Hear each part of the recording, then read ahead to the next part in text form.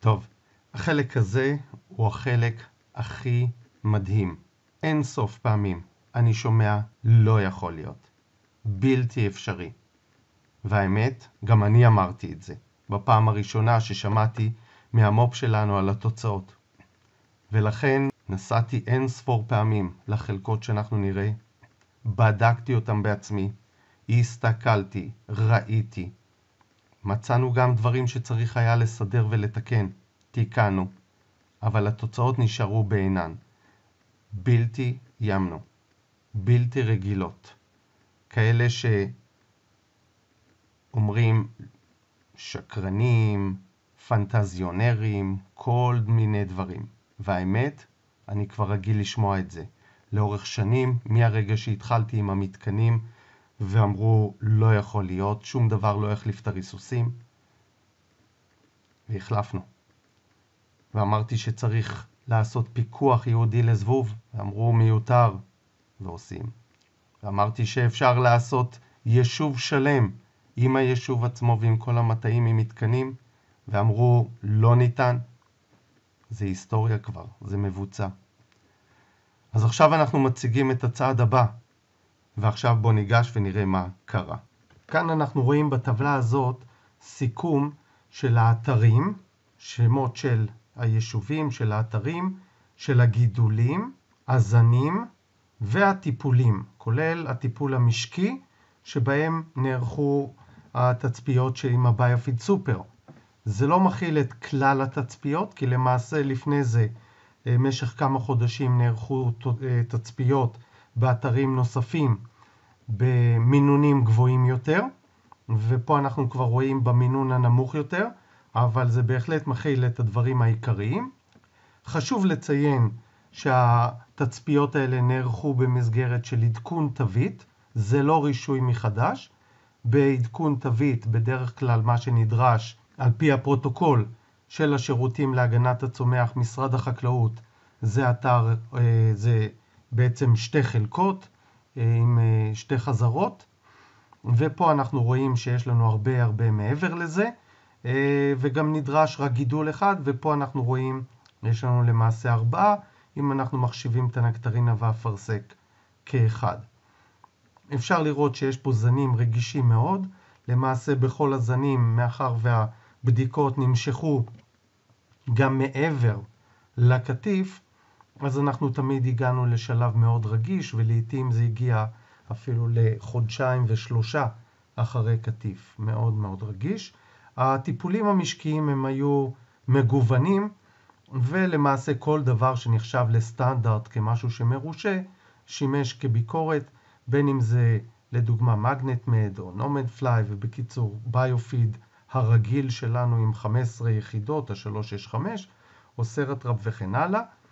מבחינה של הטיפולים, כל טיפול הוא כעשרה דונם אה, עם מגוון מינונים, החל ממינון אה, גבוה שאנחנו מעריכים שהוא בעודף, מינון המטרה שזה במקרה שלנו בין 2 ל-4 ומינון נמוך יותר. אז יש לנו פה ותמיד בדיקה משקית. פה אנחנו כבר רואים אה, חלקות וגידולים חצי מסחריים, מסחריים, מבחינת איך שאנחנו מסתכלים על זה. אמ, והמטרה פה הייתה בעיקר לראות את זה בהיקף גדול, האם יש פה דברים שאולי לא שמנו לב אליהם, אולי לא ראינו, אה, ובאמת עלינו פה על דברים, כמו שראינו שהמשיכה עובדת מצוין, הקטילה עובדת מצוין, אבל בנושא של זרימה היה מקום לשיפור, ואכן ביצענו את השיפורים האלה. לטובת ההמשך. פה אפשר לראות חלקה, זה כבר אה, תצפית מסוימת מאוד, באבני איתן, דרום הגולן. אה, הקטיף החל בספטמבר, תחילת ספטמבר, השבוע השני למעשה, וחלקת הביקורת המשקית הייתה עם בקבוקים. יש לנו פה ביום הקטיף, זה באדום, אנחנו רואים קצת פחות או אזור ה-1% נגיעות, כאשר בטיפולים עם הביופיד סופר אנחנו רואים שאין לנו נגיעות באף אחד מהטיפולים. מעניין לציין שהאזור מסביב היה מטופל אה, בבקבוקים כולו, והלכידות היו מאוד מאוד גבוהות.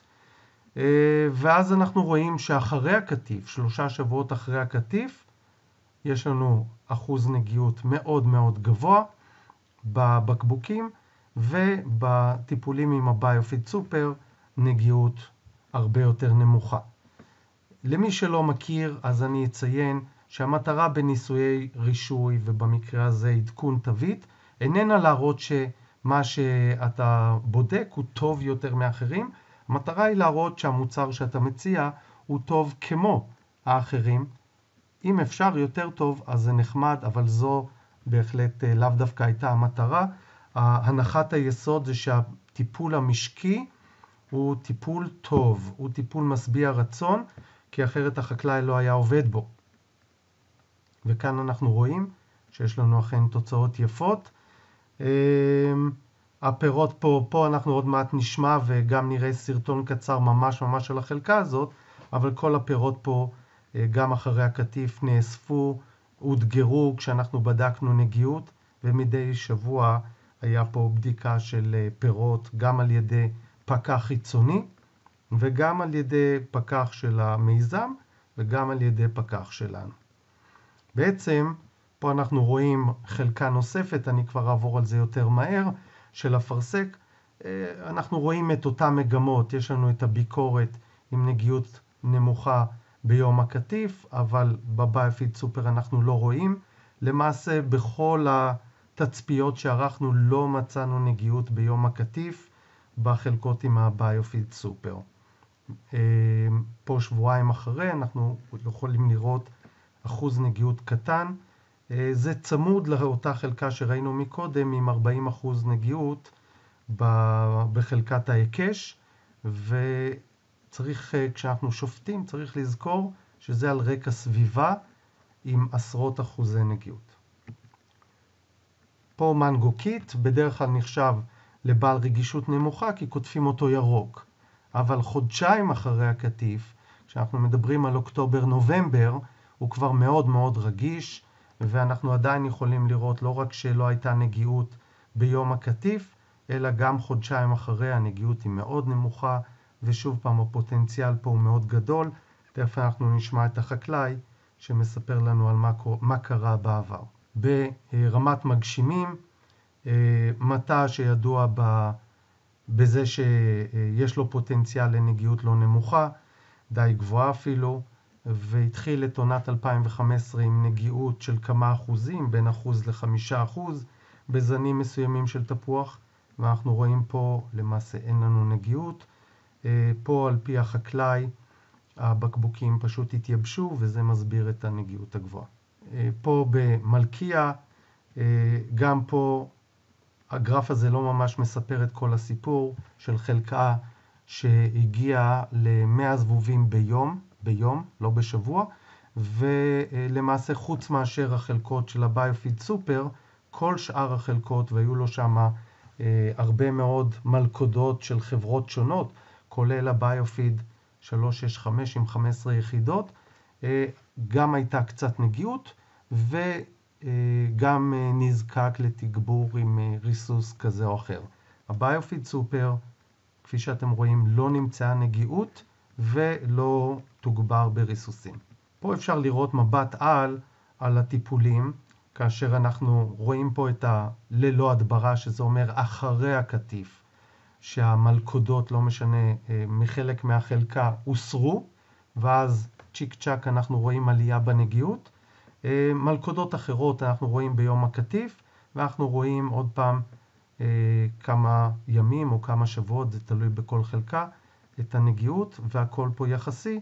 גם בביופיד עם 15 יחידות ועם 10 יחידות אנחנו רואים את הנתונים כאן, ופה אנחנו יכולים לראות את הנתונים בביופיד סופר, כאשר למעשה אנחנו לא רואים הבדל סטטיסטי בין הביופיד 365 עם 10 או 15 יחידות ובין הביופיד סופר במינונים השונים. עכשיו אנחנו נשמע קצרה את מה שהחקלאים אומרים משני אתרים מאוד מעניינים. ארבע באמצע, פה זה קצת יותר, פה זה, זה עשינו 15 חלקי 2, זה 7, ולמעלה זה 7, יש פה, יש פה המקום... גם שתיים, כן, יש פה המקום... גם האמצ- אחד. האמצע זה שתיים, נכון, באמצע יש שתיים אוקיי, ואחד, יש לך- כי זה 15. ואנחנו כרגע בלכידות של 100 זבובים למלכודת ליום.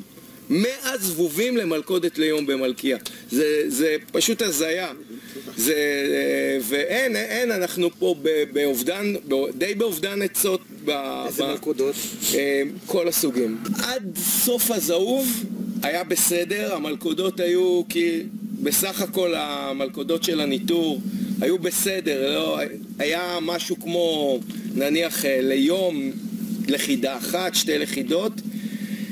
מסוף הזהוב פשוט קטסטרופה, ממש יש אה, עלייה, עלייה גדולה מאוד ולא כל המתקנים אה, בכשירות להתמודד עם זה ועם הזבוב, מה שאני לא עושה, כולל לקחת חברות שממליצות על שישה מתקנים ולשים עשרים מתקנים לא מצליח, לא מצליח.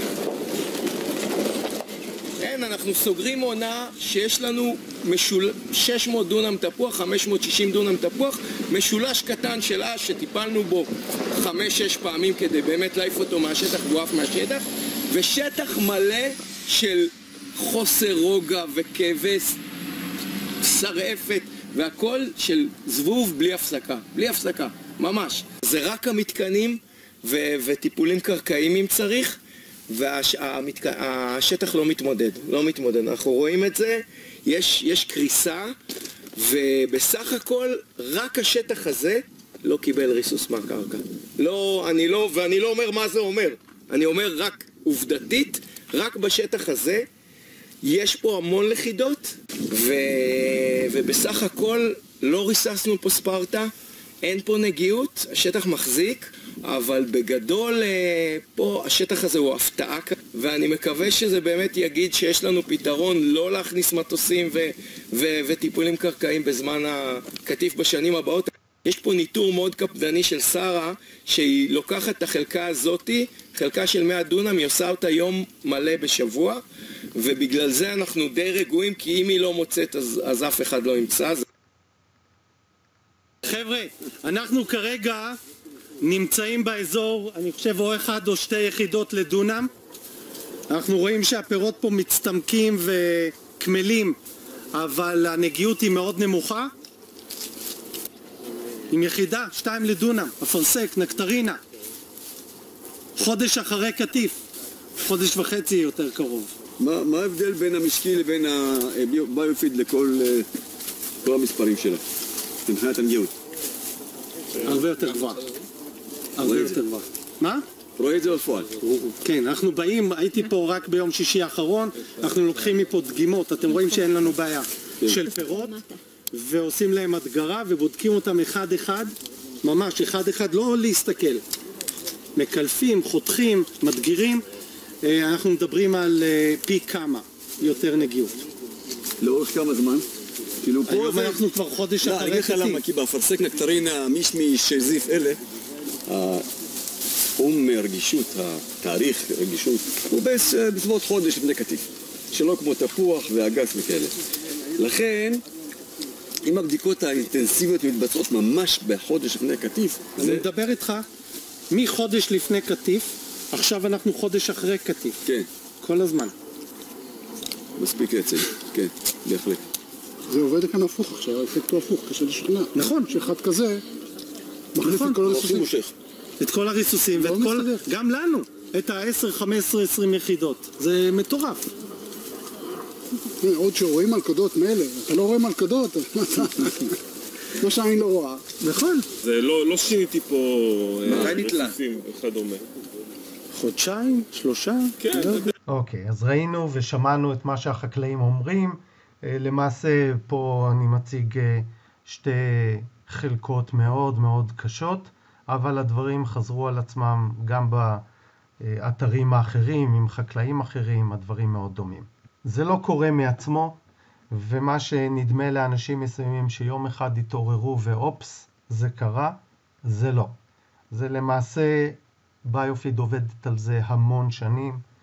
אה, באופן מתמיד, הראיתי את זה בפרק הקודם, את הדברים האלה.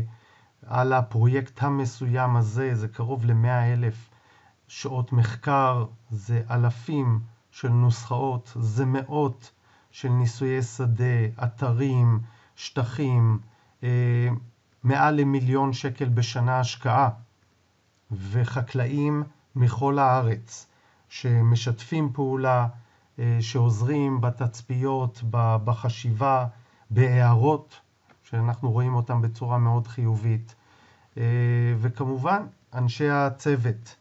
אז עד פה על הנושא של תוצאות. מי שירצה נתונים נוספים, להכיר יותר, לראות לעומק, מוזמן ליצור איתי קשר, ובשמחה אנחנו נשתף וניפגש ונראה. להתראות בפרק הבא.